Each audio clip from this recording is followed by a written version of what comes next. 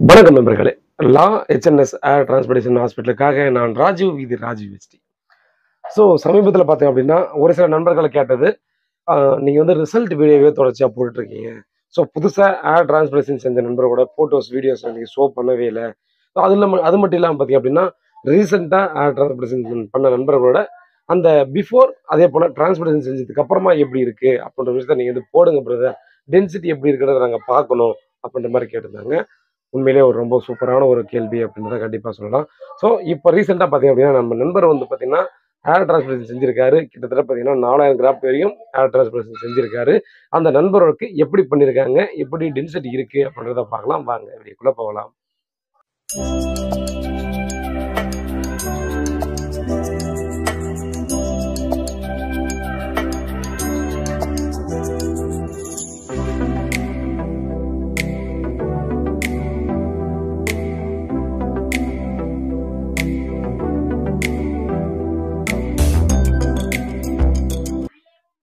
கண்டிப்பாக இந்த நண்பருக்கு எந்த அளவுக்கு டென்சிட்டி வச்சுருக்காங்க அப்படின்றத பார்க்கலாம்.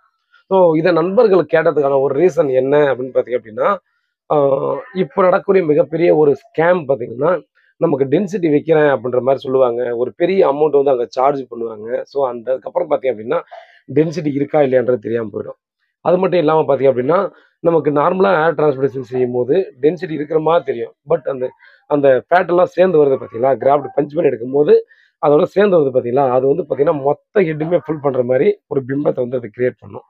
ஸோ அந்த பிரேட் அந்த கிரியேட் பண்ணுது பார்த்தீங்களா ஸோ அந்த கிரியேட் பண்ணுற விஷயத்த வந்து உண்மையா இல்லையா அப்படின்றத தெரிஞ்சுக்கணும் அப்படின்னா கண்டிப்பாக புதுசாக ஏர் டிரான்ஸ்போர்டேஷன் சென்ற நண்பர்களுக்கு இருக்காங்க பார்த்தீங்களா அவங்களுக்கு எந்த அளவுக்கு டென்சிட்டி வச்சுருக்காங்கன்றத கண்டிப்பாக நம்ம பார்த்தா மட்டும்தான் சொல்ல முடியும். அதுவும் நிறைய ரிசல்ட்டோ நிறைய ஏர் டிரான்ஸ்போர்டேஷன் செஞ்ச விஷயத்த பார்த்தா மட்டும்தான் கண் நமக்கு வந்து பார்த்தீங்கன்னா ஓரளவுக்கு கணிக்க முடியும். இல்லாத பட்சத்தில் பார்த்தீங்கன்னா நமக்கு வந்து பரவாயில்லையே ஃபுல் ஹெட்டும் பண்ணியிருக்காங்க டென்சிட்டி இருக்கிற மாதிரி தெரியுது அப்படின்றது பார்த்தீங்கன்னா நம்ம கண்முடித்தமாக நம்ம நினைக்கிறதுக்கான வாய்ப்புகள் இருக்குது ஸோ இந்த நண்பர் கேட்டது மாதிரி பார்த்தீங்க அப்படின்னா இந்த நண்பர் பார்த்தீங்கன்னா கிட்டத்தட்ட நாலாயிரம் கிராப் வரைக்கும் ஏர் டிரான்ஸ்போர்டேஷன் செஞ்சுருக்காங்க. ஃப்ரண்ட்டை ஃபுல்லாக பார்த்தோம்னா டென்சிட்டி வச்சுருக்காங்க.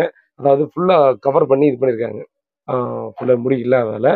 அதுக்கு மேலே இருக்கிற பகுதியில் பார்த்தீங்கன்னா கேப் கம்மியாக இருக்கிறதால பார்த்தீங்கன்னா ஜஸ்ட் ஃபில்லிங் பண்ணியிருக்காங்க ஸோ அதுதான் அந்த நம்பருக்கு பண்ணியிருக்காங்க கண்டிப்பாக இப்போ டிரான்ஸ்போர்டேஷன் செஞ்சதுக்கு அப்புறமா பார்த்தீங்கன்னா ரிசல்ட் கண்டிப்பாக வரும். ரிசல்ட்டுக்கு வந்ததுக்கு அப்புறம் பார்த்தீங்கன்னா அந்த நம்பரோட ரிசல்ட்டையும் நம்ம அந்த இடத்துல பார்க்கலாம் ஸோ அது மட்டும் இல்லாமல் பார்த்தீங்கன்னா இதோட ஒரு அடிஷ்னலாக உங்களுக்கு ஒரு இன்ஃபர்மேஷன் ஏர் டிரான்ஸ்போர்டேஷன் செய்யும் போது ஆஃபரை நம்பி போகலாமா அப்படின்னு கேட்டிங்க அப்படின்னா ஆஃபர்ஸ் வந்து பார்த்தீங்கன்னா நம்ம வந்து மெயின்டெனன்ஸ்க்கான ஆஃபர் கொடுத்தாங்கன்னா நம்ம வந்து பயன்படுத்தலாம். பட் நம்ம கிராஃப்டுக்கான அமௌண்ட் வந்து பார்த்தீங்கன்னா ஒரு கிராஃப்டுக்கு வந்து பார்த்தீங்கன்னா எட்டு ரூபா ஏழு ரூபா அஞ்சு ரூபா மூணு ரூபா இந்த மாதிரி பார்த்தீங்க அப்படின்னா சொல்கிறாங்க அப்படின்னா அதை நம்பி போகலாமான்னு கேட்டிங்கன்னா போயிட்டு பாருங்க என்ன நடக்குதுன்றது. காரணம் என்னன்னு கேட்டிங்கன்னா இப்போ நண்பர் ஒருத்தர் வந்து சமீபத்தில் ஒருத்தருக்காக பார்த்தோன்னா ஒரு கிளினிக்கில் வந்து கன்சல்டேஷன் பண்ணியிருக்காங்க ஸோ கன்சல்டேஷன் பண்ணதுக்கப்புறம் பார்த்தீங்கன்னா அவருக்கு அவங்க சொன்ன கிராஃப்ட் பார்த்தீங்கன்னா three thousand craft so three thousand கிராஃப்ட்டுக்கு அவங்க சொன்ன அமௌண்ட் பார்த்தீங்கன்னா செவன்ட்டி தௌசண்ட் நீங்கள் வந்து கொடுக்கணும் அப்படின்ற மாதிரி சொல்லியிருக்காங்க.